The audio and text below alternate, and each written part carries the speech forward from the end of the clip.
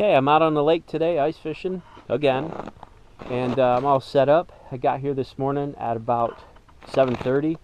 I already caught one small pike over here in this bay and I uh, decided I'm going to do a little review on the ice shanty today. It's kind of a unique shape and we did that because you have more shoulder room. The base is 4x8, just one sheet of plywood. It's resting on top of supports 2x4s and those 2x4s are notched into 2x6 skis down on the bottom. The walls on the, the widest point up here, this is about 5 feet high uh, from the floor inside, shoulder height. That's 6 foot wide. We added 1 foot on each side so it doesn't just come straight up 4 by 8 That shape right there gives us more shoulder room it also provides a little bit of comfort for these benches. This bench here folds up and this side here we call the jump seat. Folds down. These pins drop in here so the legs don't get kicked kicked back on you. And you can see the angle of it.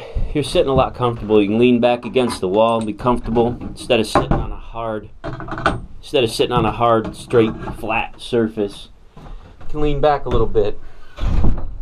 The peak is about 90, 92 inches tall um, in the middle. So you've got plenty of room in here.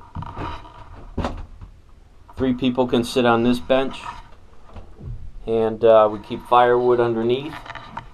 Little buddy heater.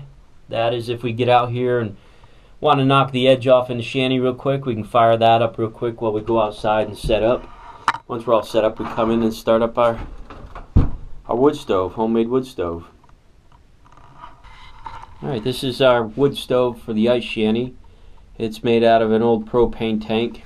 Basically, we just cut our square right here and um, then took some flat steel and bent it to shape and tacked it around there. Put a metal hinge on one side. I think the handle's made out of a uh, old chipping hammer their damper down here, which is also the clean out.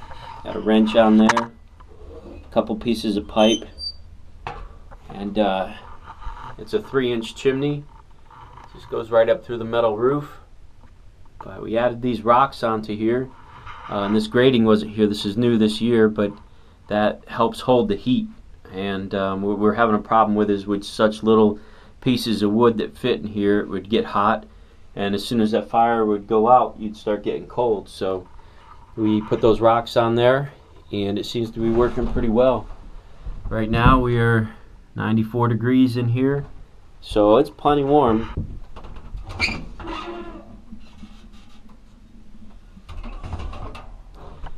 That bucket stays hanging there all the time because the way that the uh, damper here and clean out is built the ashes will fall out of there every now and then. We don't want them on the floor. The base is an old Christmas tree stand. And that's it. Pretty efficient little stove.